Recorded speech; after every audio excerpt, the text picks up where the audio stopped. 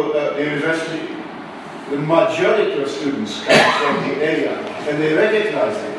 And this is, I think, very good for that university.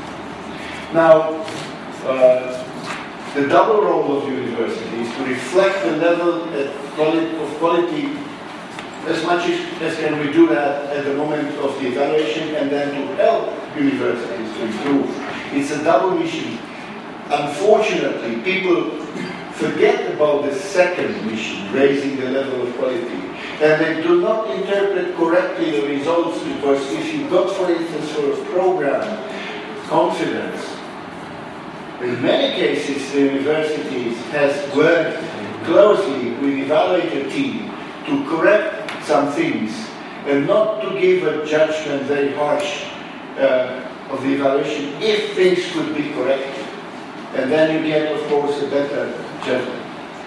And um, the interpretation of judgments is subject to many threats. I put, so, I put only two. Idealizing the past, as we say, we had before much better students. So the student, today's students coming from high school are not as good as they used to be.